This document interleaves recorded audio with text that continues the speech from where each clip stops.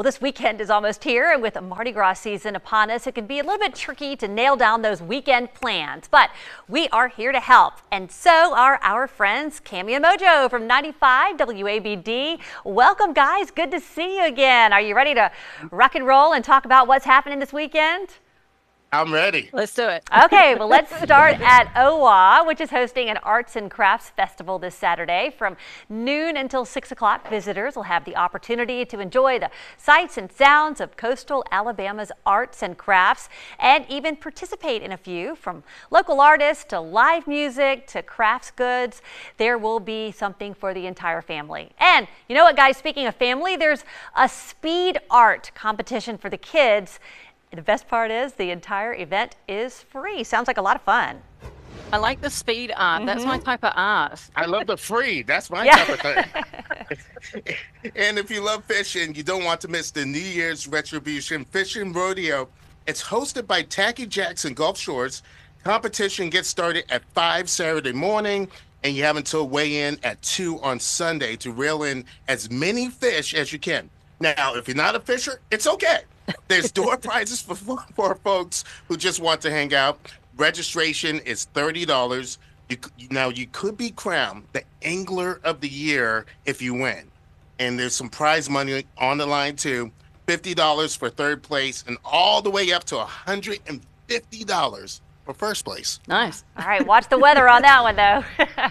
All right, well, you might have heard that some folks on the Gulf Coast call this rainy winter weather gumbo weather. Isn't that year round here? But apparently in Foley, they are saying it is time for Gumbo Weekend. They're hosting the Gumbo and Alabama Slammer Festival this Saturday in Heritage Park. Starts at 10 o'clock Saturday morning. You can enjoy gumbo, a classic Alabama Slammer cocktail, plus all kinds of drinks, vendor booths, and several activities for the children.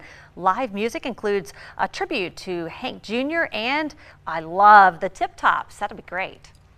Very cool. Uh, for lovers of books, the big winter book sale is the place to be. Starting on Friday, going all the way through Sunday, the West Florida Public Library. They're going to have a large selection of books, audio books, CDs, and DVDs for sale, all sorted out in different genres.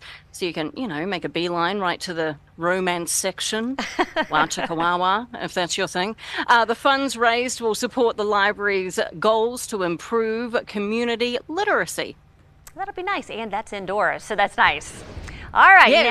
now for what we've all been waiting for Mardi Gras. A grand total of seven parades rolling across the News 5 neighborhood this weekend. So put on that Mardi Gras swag and grab some king cake. All right, so we've talked about Friday night, the Condies at 630. Saturday is the busiest day, though, of the holiday year, of the uh, holiday weekend. The day starts with the Mystic Crew of Salty Paws riding through Dauphin Island at 10 a.m. Then at 2, there are two different parades to choose from. The Order of Rolling River will roll through Dauphin Island Parkway, while the Bayport Parading Society, Mystic DJ Riders, they will go through Mobile's Route A. And then, of course, the busy day ends with the Pharaohs and the Conde Explorers riding through Route A at 6:30. Then on Sunday, it's still going. The third annual Pensacola Beach Potty Gras will start at 11 a.m. And last but not least, the festivities will end with the Massacre Island Secret Society riding through Route A at 6:30. And by the way, you can find information for all these events on WKRG.com when you go to the Gulf Coast CW page. All right, guys, so any plans? There's a lot going on. Yeah, so we're definitely going to be in the Conde Explorers. And Devon, I know you're always there, Fat Tuesday. Yes. Uh, if you could pick your absolute most favorite Mardi Gras float, do you, do you have a favorite that you're always looking forward to seeing? Yeah, I always look forward to seeing Folly in the KORs, watching him uh, Oh, yeah? beat those cow bladders. Yes. yeah, I know exactly what you're talking about. I know exactly what you're talking about. Oh my gosh, that's so fun. I love it. Yeah, well, I'm looking forward to all the Mardi Gras festivities, and I hope you guys have a great weekend. Yeah, stay out of the rain. Will do.